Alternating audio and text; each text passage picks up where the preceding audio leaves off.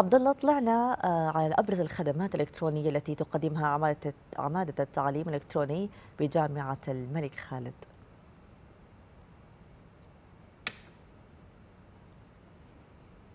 نعم يسعد صباحك جنار يسعد صباح السادة المشاهدين. آه، طبعا أنا الآن متواجد في جامعة الملك خالد وبالتحديد في آه، عماده التعلم الالكتروني حيث تقدم خدمات آه، يعني لجميع الطلاب والطالبات وخاصة نحن الآن نمر يعني التعليم عن بعد وهي تقدم خدمات لتذليل كافة الصعاب من الدعم الفني من الاستفسارات حتى لو واجهت الطالب أو الطالبة يعني عدم الدخول على أي يعني أي خدمة يريدها الطالب أو الطالبة. هناك أيضا دعم فني لتسهيل كافة آه، الأشياء التي يريدون الدخول عليها. لتفاصيل أكثر ينضم بجانبي سعادة الدكتور نايف جبلي عميد عمادة التعلم الإلكتروني بجامعة الملك خالد. يسعد صباحك دكتور. آه، بداية آه، كيف تقيم تفاعل الطلاب وأعضاء هيئة التدريس مع التعلم الإلكتروني وأيضا عن بعد خلال الأسبوع الأول؟ حياكم الله أستاذ عبد الله ويسعد صباحك وصباح المشاهدين والمشاهدات. آه، حقيقة الأسبوع الماضي مر الحمد لله بنجاح كبير في مستوى التفاعل ما بين آه، مقررات الجامعة طلاب وطالبات. آه، الحقيقة التقارير تشير بأنه تقريبا أكثر من 13 ألف شعبة افتراضية تمت خلال الأسبوع الماضي. دخل فيها ما يزيد أكثر من 45 آه، طالب 45 آه، ألف طالب وطالبة.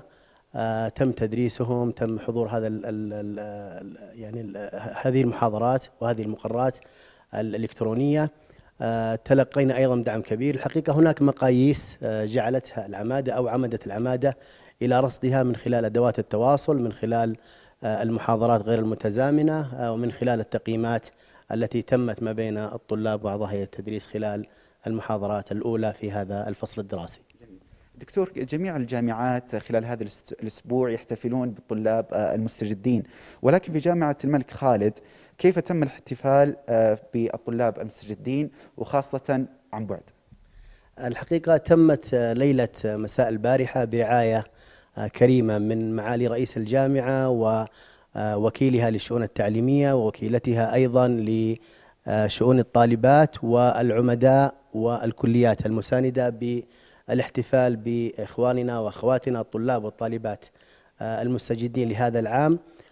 تمت من خلال كلمات ترحيبية ثم أيضا كانت هناك فقرة مناقشة حوارية تتمثل في ما هي الخدمات التي تقدمها العمادات المساندة والكليات المساندة. وأيضا آه، آه، كيف يمكن التواصل ما بين الطالب وبين هذه العمادات وتم آه، من خلالها استعراض أبرز هذه النقاط المهمة للطالب والطالبة المستجد. دكتور أخيرا يعني دور الجامعة في تعزيز الثقافة المجتمعية وخاصة يعني اتجاه التعلم الالكتروني.